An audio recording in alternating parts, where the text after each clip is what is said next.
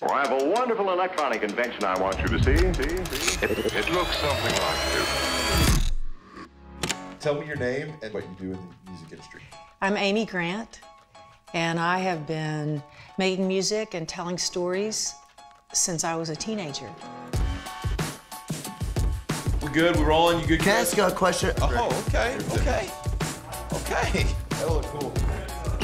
Oh man, you're more than welcome, man. I'm easy breezy. Can somebody throw me a room temp water with paper torn off? This is Silas. Silas. Uh, quite a, quite a chair you have here.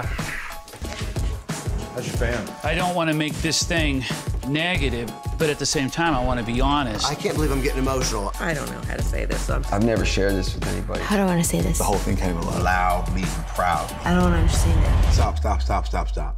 This thing on paper shouldn't have worked. The Jesus movement is no longer a California Contemporary thing. Christian music has become a billion And we see all the intricacies and everything. We're just gonna go. The story was so massive.